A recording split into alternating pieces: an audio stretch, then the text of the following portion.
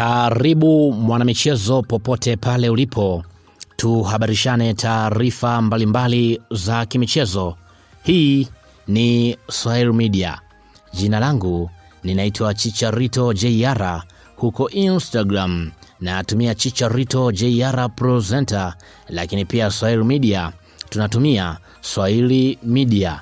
Tufolo huko kwa ajili ya taarifa mbalimbali za kimichezo.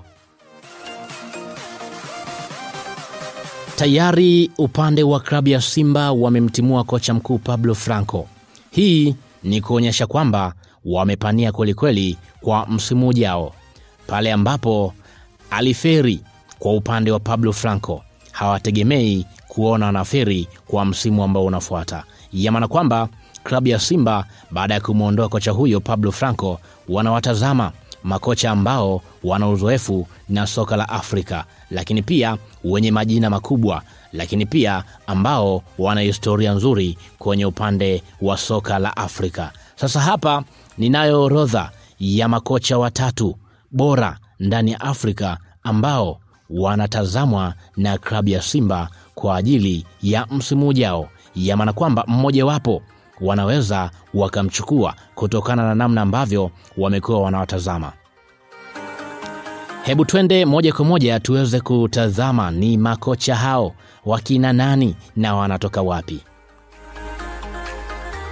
Kocha wa kwanza ambaye anatazamwa ni Rulan Mokwena. Rulan Mokwena kutoka huko nchini Afrika ya Kusini.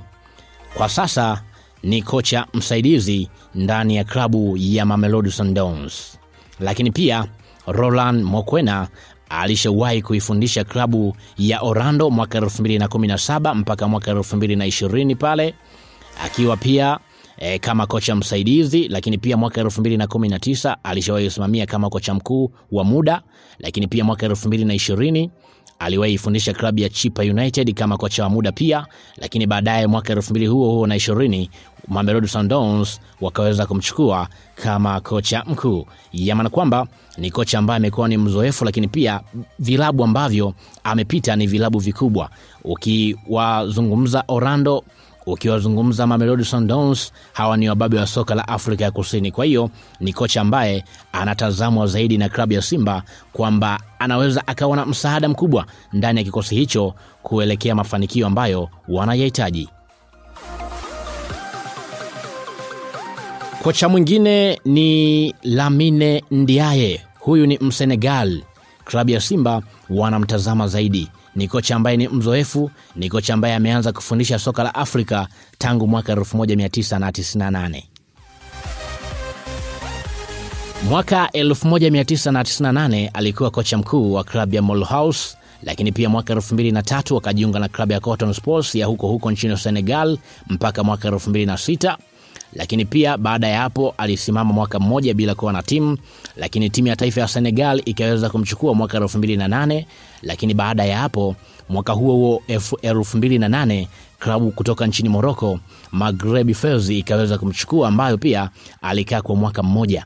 Baadaye mwaka 2010 mpaka 2013 akawa kocha mkuu wa klabu ya TP Mazembe ambao pia aliweza kuisaidia kuchukua ubingwa e, mkubwa pale kwenye ligi e, na kuweza kuifanikisha TP Mazembe kufika sehemu sahihi ya ubingwa wa Afrika. Lakini pia mwaka 2018 2019 alielekea huko, Sud huko Sudan kuifundisha klabu ya Al Hilal.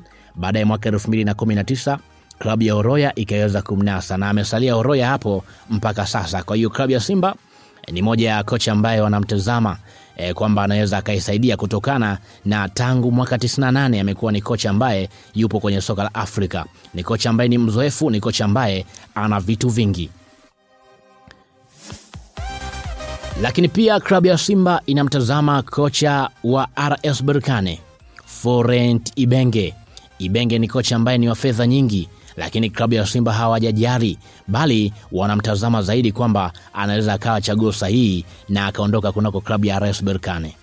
Ni kukumbushe tu kwamba Ibenge ameanza kazi ya kocha tangu mwaka 2008 ambapo alikuwa ndani ya klabu ya AS Wascour, lakini pia mwaka 2010 mpaka 2011 klabu ya AS Dou. Baadaye mwaka 2012 akaelekea huko e, nchini China ndani ya klabu ya Shanghai Shenhua, lakini pia mwaka 2014 akawa kocha mkuu wa Vita Club, lakini pia kipindi ipo Vita Club e, klabu ya eh, timu ya taifa ya Jamhuri ya Kidemokrasia ya Kongo alikuwa anayosimamia pia.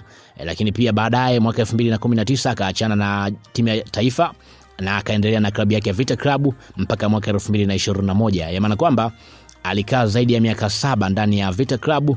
Baadaye mwaka 2021 klabu ya RS Berkane ikaweza kumnasa na mpaka sasa amewafanikisha RS Berkane kubeba ubingwa wa kombe la shirikisho, ambapo pia klabu ya Simba ilikuwepo huko, lakini iliishia hatua ya robo fainali. Hivyo Simba hao ni makocha watatu ambao wanawatazama, ambao wana historia kubwa kwa ajili tu ya kutaka kufanya vizuri kwa msimu ujao. Roland Mokwena Lamine Ndiaye pamoja na Florent Ibenge. Kwa upande wako pia unadhani ni kocha gani ambaye anastahili kutua ndani ya klabu ya Simba kati ya Roland Mokwena, eh, Lamine Ndiaye pamoja na Florent Ibenge?